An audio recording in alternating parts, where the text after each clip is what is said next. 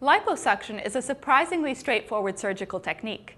A stainless steel tube, the cannula, removes fat deposits from beneath the skin with the help of a powerful vacuum.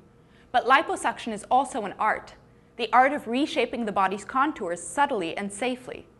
Because this combination of science and skill isn't always easy to find, if you are considering liposuction, you should put yourself in experienced hands.